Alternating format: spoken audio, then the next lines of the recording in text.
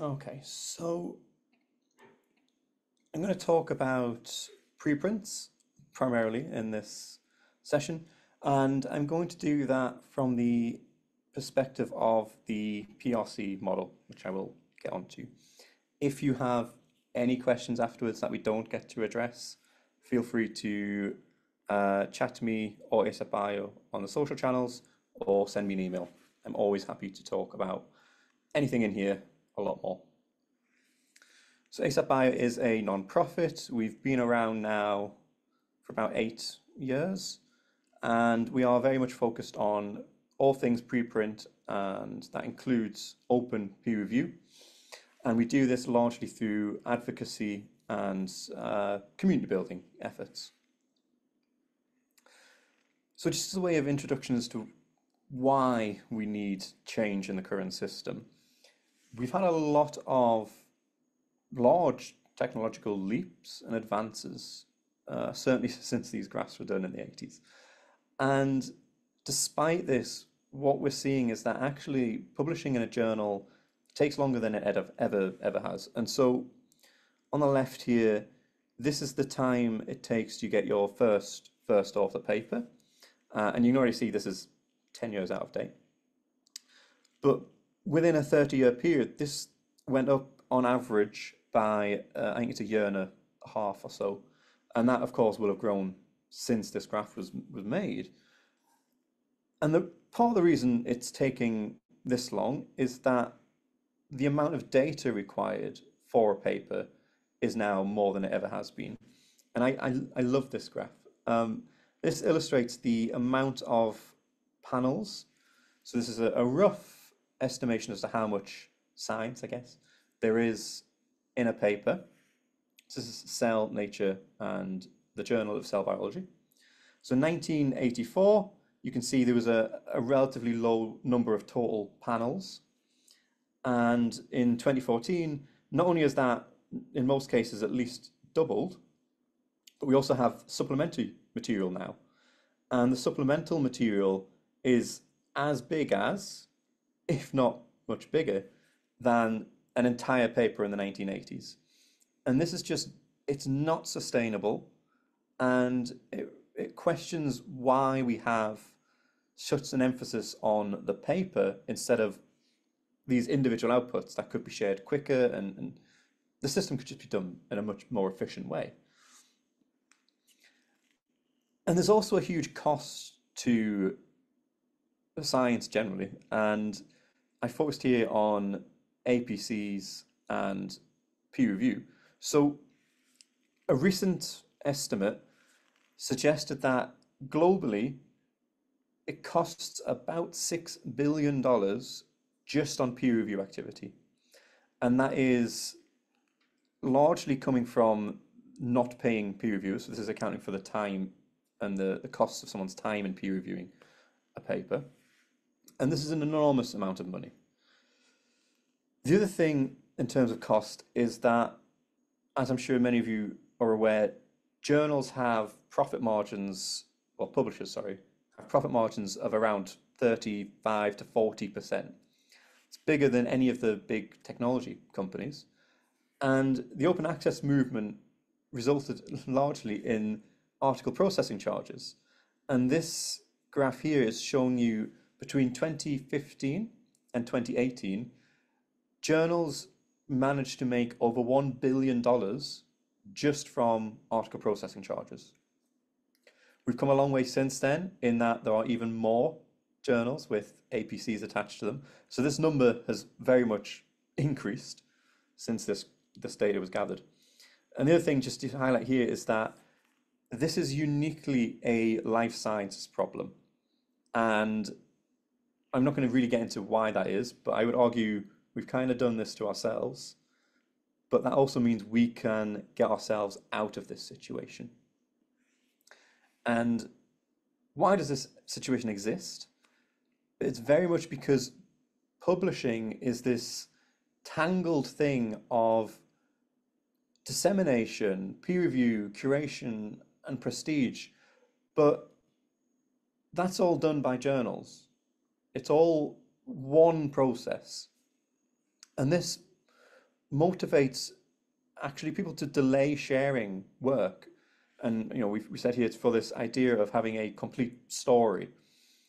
And that's because this process extends beyond this into research culture more widely, which is you need to publish in certain journals in order to get more to be more competitive for jobs or for funding.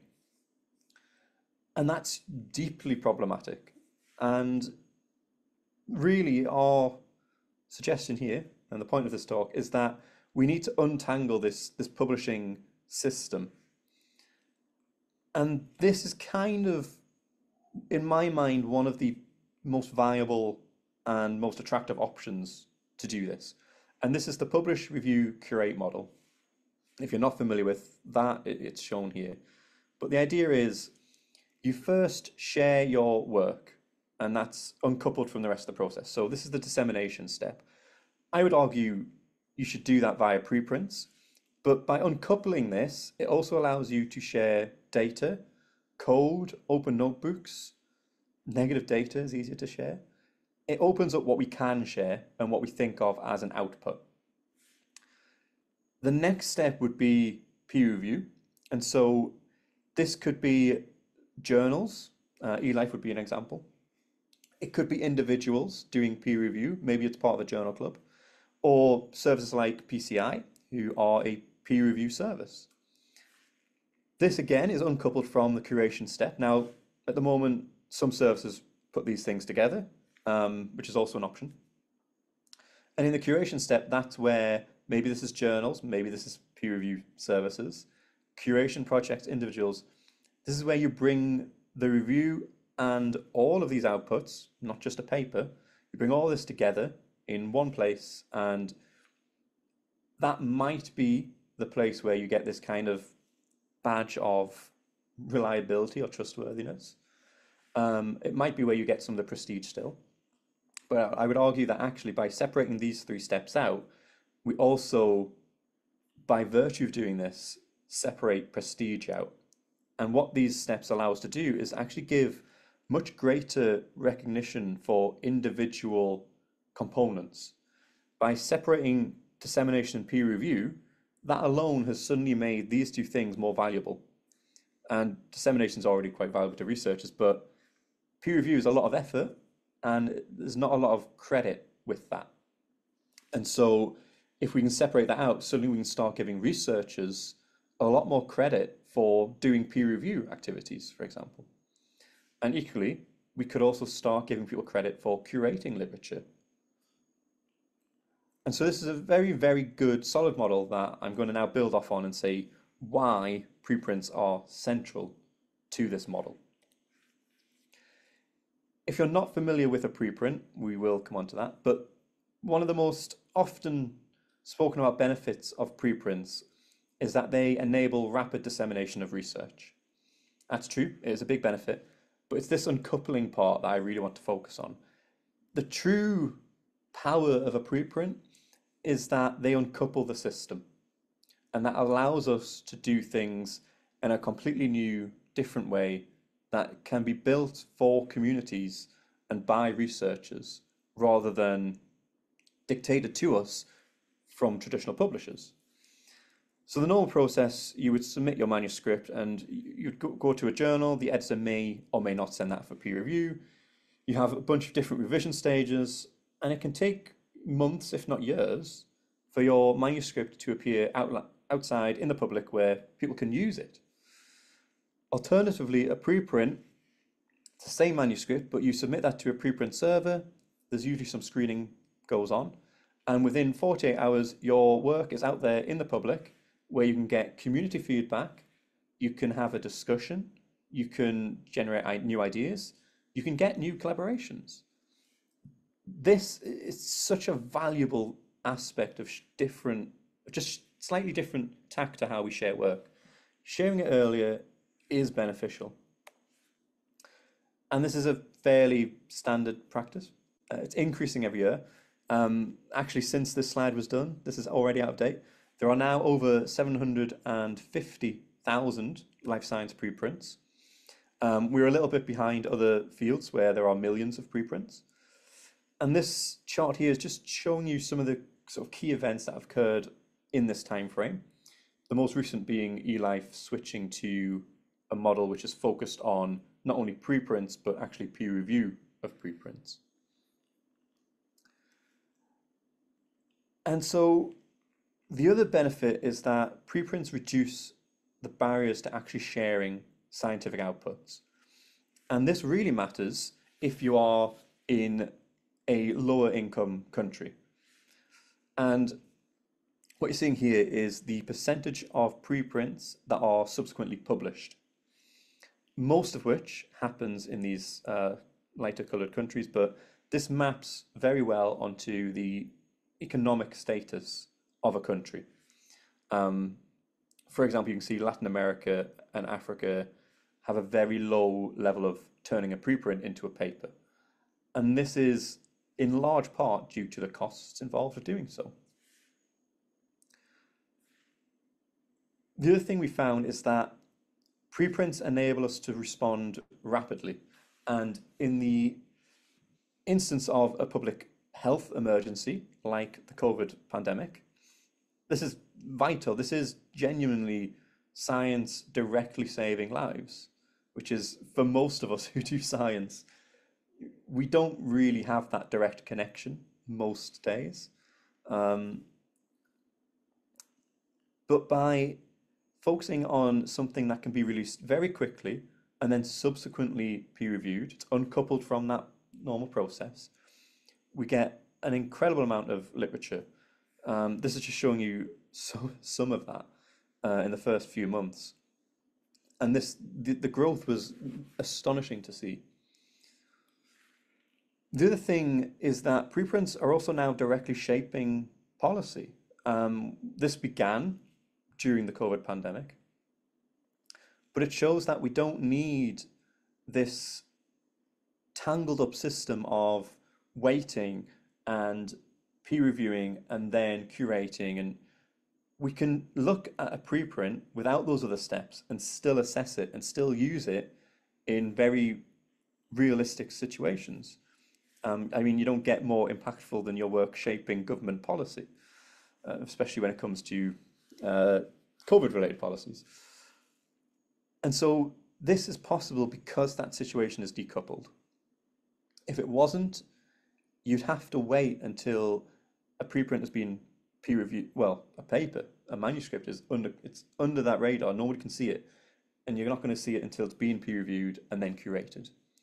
We separate that out. We end up with preprints that can be used immediately, and we end up with preprints that have public peer reviews attached to them that we can also trust more. The other thing we found with COVID is that preprints received a huge amount of attention. And the, the reason this slide is in here is this shows what can happen when you open up the system. If people can access research, they will use it, they will read it, they will engage with it more. And this, I would argue, is a huge benefit for, for us as researchers. We, you know, it's, it's nice to actually interact with people who are using your work. And this, as we move forward, I think is going to become an increasingly important part of a researcher's job is interacting with whether it's general members of the public, uh, policymakers, journalists. This is a really, really important step that is already happening. And preprints allow you to get ahead of that, which is beneficial for you and your careers. One of the big issues with suggesting that we uncouple the system is that preprints don't have that peer review, at least not initially. And there's a lot of concern around can you trust something that has been released to the public and not experienced any peer review? This is only one slide answering this question. There is a lot of data now trying to address this very question. This slide, just an example, but this slide is the same thing you will see in different forms, but all of those papers who address this question come up with the same answer ultimately, which is that just because something is not peer reviewed, firstly, it does not mean it's low quality, and it does not mean it's not reliable. And I want to be, I would love to say that means it is reliable and it is high quality. What I would say instead, and to stress the point, preprints are as reliable as the peer-reviewed literature is. That's what the current ever-growing abundance of evidence tells you. That's what it shows you. And so the question therefore becomes why are we waiting to release science and our outputs for peer review when we can release it earlier? We don't currently see an issue in doing so, and then we can do that peer review process actually in a better way than it's currently done, more openly, and overall we get a system that is faster and more trustworthy. Uh, one thing you do see generally when you look at preprints versus their peer-reviewed versions is things like confidence intervals or the statistics, they generally reduce a little bit. And so peer review is providing a small, and it is a small in most cases, uh, improvement on a, a piece of work. That's usually to strengthen the conclusions. Um, but importantly, the conclusions very rarely change. And when we ask people what their concerns are about preprinting, as I said, that sharing before peer review or the premature coverage, they always come out on top. They're always some of the biggest concerns. And I think this premature coverage comes a lot to this idea that it hasn't been peer reviewed and we need to be a bit more careful with it. And there is also, especially with COVID, but continued since then, this concern about misinformation. Very, very valid concern. We saw plenty, well, we still see plenty of examples of preprints that are things you would class as misinformation. Equally, as anyone who's been on Twitter the past week will have been able to comment, there's a lot of peer-reviewed articles that also class as misinformation or have had heavy use of AI without any acknowledgement in them. The remedy is not closed peer review. And I shouldn't really have to say that after the sentence I've just said. You know, the remedy here is public feedback. And that is good for a number of reasons. One, it allows everyone who's not an expert to also see where something should be taken with more caution. Two, it allows the authors, maybe allows is the wrong word, it encourages the authors to be more confident in the results they put out. If you put rubbish out as a preprint, it can get a lot of attention. And that's not great if that's how your career is judged. A lot of us are judged based on our reputation. And if you have a reputation for, for bad science, that's not great. It's good for science and academia more, uh, on the bigger one. And so public feedback decoupled from the journal system and from that closed system is very, very beneficial. It allows us to correct things quicker and it allows us to warn people that something is questionable. The last thing to mention here is that preprints don't have that peer review stamp, and that peer review stamp is often taken as meaning that this bit of work is reliable and trustworthy. And as I'm sure we all know, that is it's simply not true. By decoupling that system, we also redefine what peer review is actually doing. So bioRxiv is a really good example here of how we can integrate this process. So we're talking about the peer review curate model, not just these individual steps. So you post your preprint to bioRxiv, and then you can request review. Uh, people can review it without you requesting. And what happens is you get a review, and the example here is from eLife, but any of the review services appear in this, this column here now. And that review is attached to the preprint. So now you can look at the preprint, you can read the science, you can judge it yourself, but also you have all of the reviews that are done alongside that. And if so, this is an example where eLife have been responding, but say this has also been uh, looked at by one of the other review services, that would also appear in this list.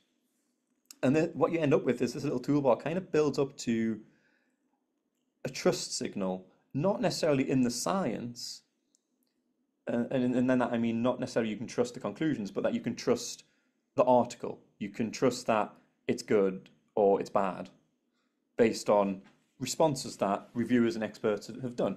The other thing, of course, is that Twitter is a place where feedback happens, and that's also included in here. And we're very used to traditional peer review reports, but single line comments can be incredibly important for the authors in terms of feedback, and also for other people understanding how much they can trust a bit of work, what that bit of work means. So don't ever underestimate the uh, the tweets on here either. Although maybe we'll move away from Twitter. So peer reviewers often act or are often seen as gatekeepers, and I'm we've got some evidence here from review comments, but I'm sure Peer Community In have a very similar experience with their reviewers. Reviewers can also be collaborators, and this is the benefit of real benefit of open peer review, is that what we find normally is the reviews are kinder and they're more constructive when they're open. And that is something I think we could all agree on is better for science and better for the authors. The other thing that preprint review in particular does, it opens up a bigger space to actually experiment with what peer review is. I've already talked about how we have this traditional long form peer review, but those individual comments are also peer review. Um, at ASAP Bio, we have, uh, we're currently trying to convert journal clubs into preprint peer review clubs. We have crowd review, where you have maybe 10 people reviewing an individual preprint, and maybe they're just adding individual comments between them. But when you take those individual comments together, you have a long form, normal peer review.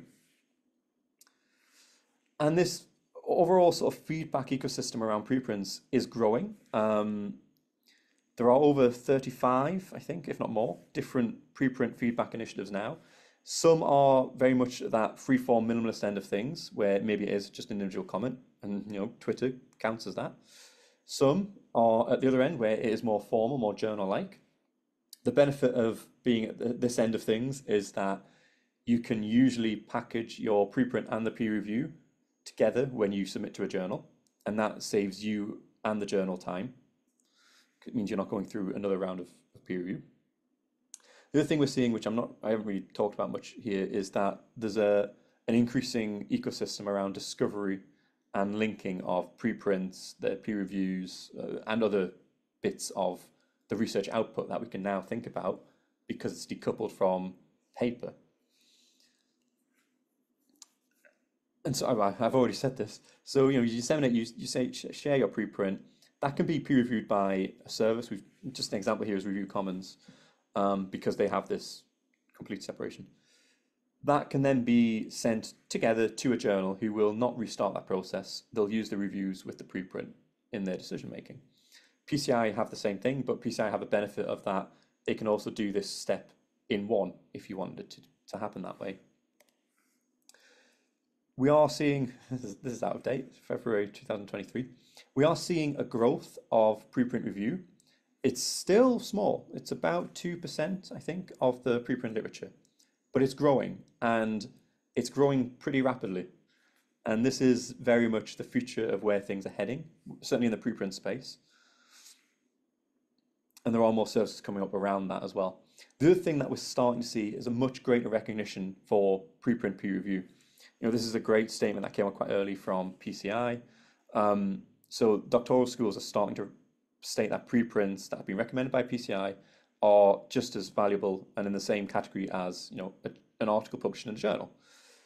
That's also the similar situation at, at EMBO. Uh, Plan S is good good prelude to Johan's talk. Plan S are also now very much focused on this idea that a peer-reviewed preprint is basically the same as a peer-reviewed journal article. Only now we get all the benefits of decoupling the system and sharing earlier and sharing openly. And this is, again, this is something else that is increasingly, uh, we're seeing a lot more adoption of this kind of, these statements and these, these practices. And I just want to end before we have time for questions on preprints and open science, because you could argue that open science meets a lot of these uh, requirements and would fit well with the peer review curate model. So why preprints? I've already shown you this graph. This is the cost of open access. Preprints don't have this cost. There are other alternative forms of funding for preprint servers. That's a different discussion. But that does not involve cost to the authors and it does not involve cost to the readers. Open access costs the authors so much money that it is prohibitive for early career researchers. And if you're in the global south, you often, the cost of uh, an article processing charge can be your salary for the year. Uh, and there's a, a very limited number of funds available to cover these things there. And these costs are increasing every year. Um, again, this data is only up to 2018. And these things have really gone up a lot more in the recent years. So it's not a sustainable system for researchers. The other thing, and this is probably actually the most important part of this whole talk, open access is dominated by traditional publishers. And traditional publishers have been very clever in how they've gone about things in that they own the entire research system. It's not just about publications and publishers, it's about the discovery steps right at the start, right through to the assessment steps right at the end. And as long as we have a system that is so monopolized by companies that have different interests to the researchers, we're kind of stuck. As we start to uncouple the, the, the publication system, these other things fall down with that. I said at the start, you know, uncoupling peer review and dissemination, that then allows you to put more emphasis on the peer review activity. That changes assessment. Now you can assess someone based on their peer review activity much better than we currently do. You can also see a situation where actually maybe jobs appear where their job is to peer review and you get paid for it. It's an actual job. Um, but we can't break this down without uncoupling the publishing system. This is still the heart of this, this domination. Think, yeah, two more slides. So again, with open access, open access is actually moving towards preprints. Um, and I just want to end with two very, very similar statements, one from the European Council and one from the White House. These both came out last year, and effectively what their wording says is that a publish review curate system is where they want to see things go. So this is about scholarly publishing where it's not for profit, it's open access, it's multi-format, and importantly, no costs for authors or readers. And you'll see very similar language from the White House. And like I said, the, the PRC model with preprints at the heart of that very much achieves what these two statements have said. And it's where, I mean, I don't know what Johan will talk about when he talks about Plan S, but it's also where Plan S statements have also started to head in that, that very much direction as well. I think that is my last slide. So uh, thank you to all of you for listening, um, to the, the current limited staff we have at ASAP Bio, uh, our funders and our board members. And I think that leaves plenty of time for questions.